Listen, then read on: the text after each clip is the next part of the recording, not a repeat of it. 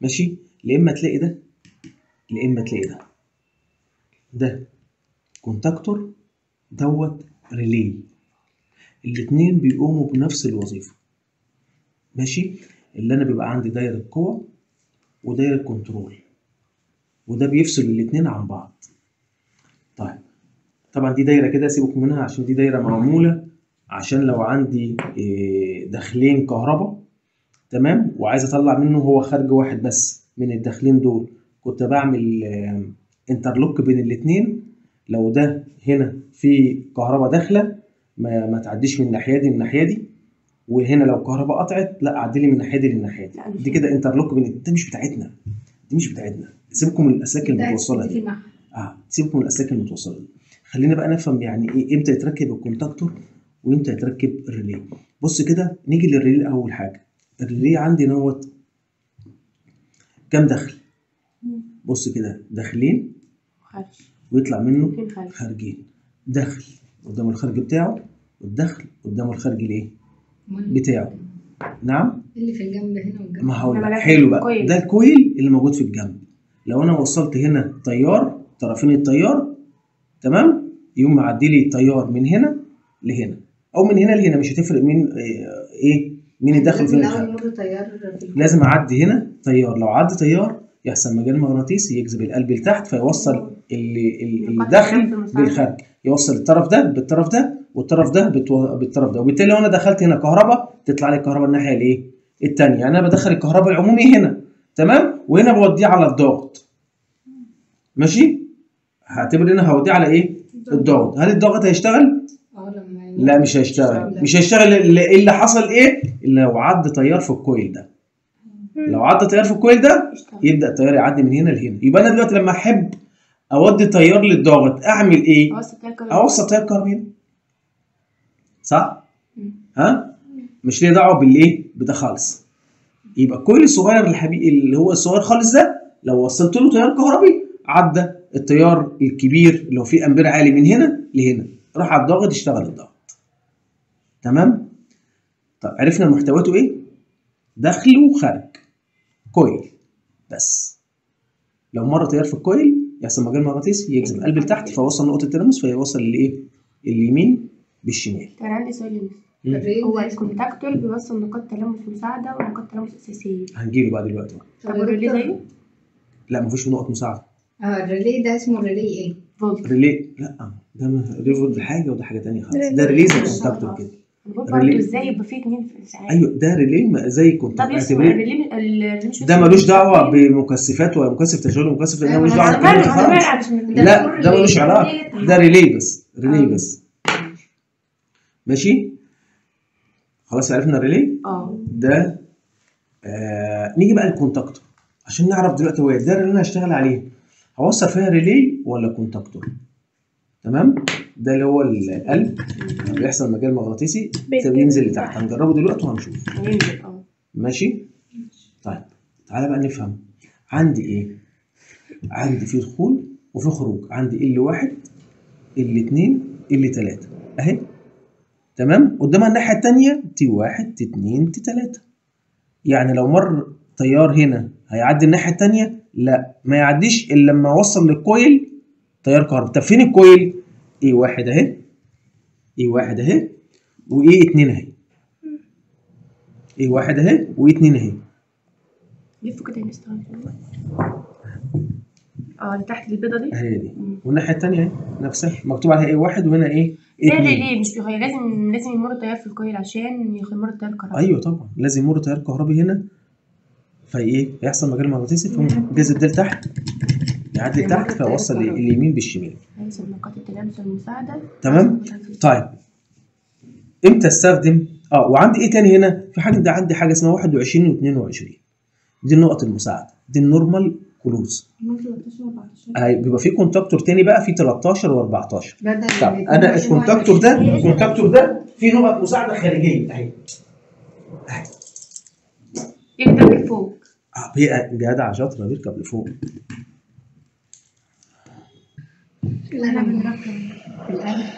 ماشي. آه. عندي نقط مساعدة هنا 21 22 دي 21 22 دي اللي هي ال normal close. يعني إيه normal close؟ يعني الوضع الطبيعي بتاعه مقفول ما دام ما عدش تيار في ال coil هنا. دي مساعدة. آه نقط مساعدة. في عندي برضو 21 22 فوق أهي. برضه يبقى أنا عندي كام نقط مساعدة؟ ادي واحد أربعة. اثنين الثالثه أهي بس normal open اللي هي 13 و14 13 و14 دي normal open. يعني في الوضع الطبيعي بتاعها ها موصلة ولا فاصلة؟ فاصلة فاصله normal open. مفتوح. طب تيجي نتأكد؟ اعمله على ال... normal open. على صوت ال buzzer. مساعدة ولا أساسية؟ إيه؟ normal open. دي مساعدة ولا أساسية؟ لا مساعدة. الأساسية الدخول والخروج. آه. بص كده. إحنا هنشوف ال normal open. فاصلة بص كده مع بعض. هم. 13 و14 هي normal open. يعني موصلة ولا فاصلة؟ فاصلة مفتوحة. يعني فاصلة. قراءة مفيش أي حاجة. مفيش. أنا عامله على صوت اهو مم. طب 21 22 ده normal close يعني؟ موصلة. موصلة. ادت قراءة تمام. ها 21 22 اللي تحت. موصلة. يعني في نقاط تلامس مساعدة مفتوحة مف- تبقى موصلة وفي نقاط تلامس بتبقى فاصلة مش ادت قراءة نشوف. بتدي قراءة وتروح وتيجي.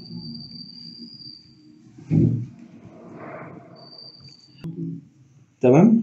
يبقى دي normal close دي normal close ودي normal إيه؟ open طب اللي هي بقى آه L واحد L اتنين L تلاتة وتحتها ما T واحد. بص كده نفس الكلام. المفروض هي مش هتديني حاجة. آه. أهو ما دام ما عنديش فيه تيار يعني كده نقاط التلامس المساعدة نوعين. مفتوح آه open مفتوحة. open و close open وايه و close ماشي يا شباب؟ إيه وظيفتهم دول؟ يعني؟ لا وظيفتهم كبيرة. حاجة.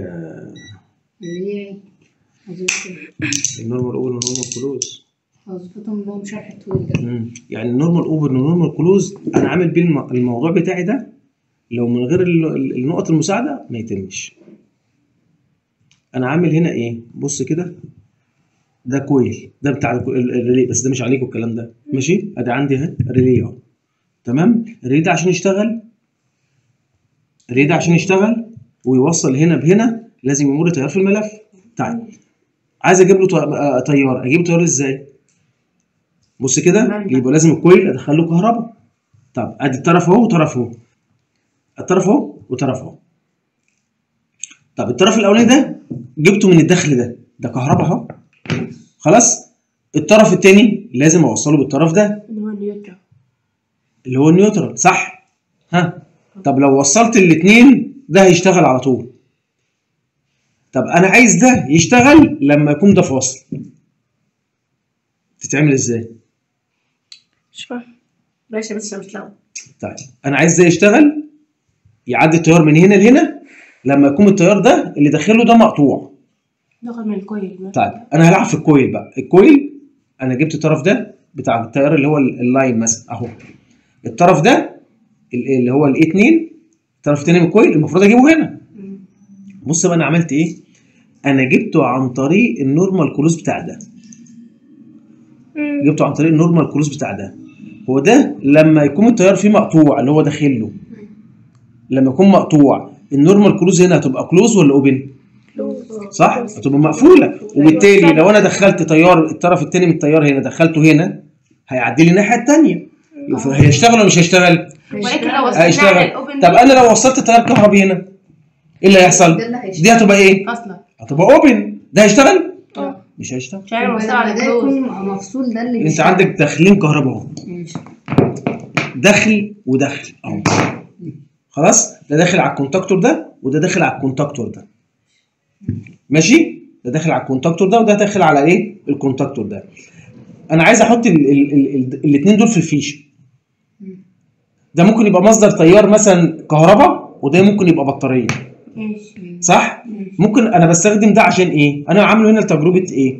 عشان لو عندي الكهرباء قطعت ياخد الكهرباء من البطارية على طول. الجهاز اللي عندي ده ما يفصلش. يبقى اللمبة دي أو أو اللمبة أو الحمل أو ال load ده شغال على طول. ينفع أدخل تيار طرفين تيار على مصدر واحد؟ فرقعة على طول. يعني. فرقعة.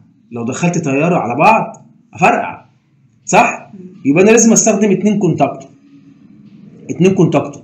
لو ده دخل فيه التيار وبالتالي دي هتبقى إيه. open صح؟ هتبقى open هتعدي لي التيار من هنا لهنا؟ لا. وبالتالي ده. هيعدي تيار لا ده كده فصل. لما أفصل التيار من هنا ده هيوصل طب افصل التيار من هنا إيه اللي هيحصل؟ هتبقى دي close؟ وبالتالي دي هتجيب التيار منين من هنا. هيعدي هيعدي. هيعدي ال coil ده ماشي فيه تيار وبالتالي هيعدي لي التيار من هنا لهنا. طب تيجي نجربها عملي؟ تعال نجربها عملي.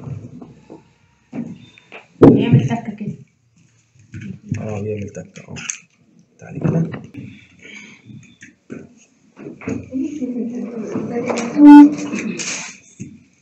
هاتي بس حاجة فيها تيار ناخد الراوتر ده.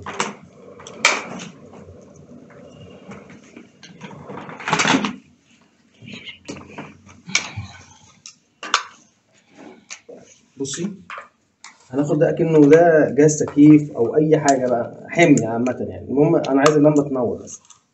ماشي يا شباب؟ إيه؟ أنا عايز الراوتر ده يشتغل آه. طيب بصوا هنعتبر بصوا يا بنات. هناخد ده أكنها كهرباء الكهرباء العموميه بتاعت البيت. أهي. بص كده. إيه اللي حصل؟ سمعنا تكة كده. مين اللي اشتغل ده ولا ده؟ لا ده ما هو ده التيار بتاعه. صح كده؟ إحنا قلنا ما دام ده ماشي فيه تيار بدا فاصل. ها؟ يبقى الكهرباء مش هتعدي هنا. آه. يبقى ده هيفاصل آه. ها؟ تمام؟ حصلت قفلة؟ لا. لا ما حصلتش قفلة. لسه هحط ده. انت التجربة تبقى صح. لما أحط المصدر ده كمان. أحط المصدر ده كده؟ هيجيب له بعض هيجيب له فرجعه. لا مش هيعمل فرقعة. ليه؟ مش انت قلت هيعمل فرجعة لما ما يعملش فرقعة ليه؟ لأن خليت التيار بتاعه بتاع الكويل يعدي على ده الأول. لا ده فاصل آه. وبالتالي مش هيعدي التيار هنا آه. وبالتالي ده مش هيطلع كهرباء. أيوه. طب تعالى نفصل الأولاني بقى. هنشوف الت- الكهرباء هتروح على التاني على طول ولا لأ؟ بص كده. آه. فصل؟ لا. لا ما فصلش. ده انه زي ما هو. طب لما أجي أحط دوت ها؟ لما أجي أحط ده الكهرباء هتروح على فين؟ على ده ولا على ده؟ على على ال contact على الكونتاكتور. ال contact ده الأساسي. لو هنا في تيار يروح على طول أهو. ده اللي اشتغل شفت الملف نزل. إزاي؟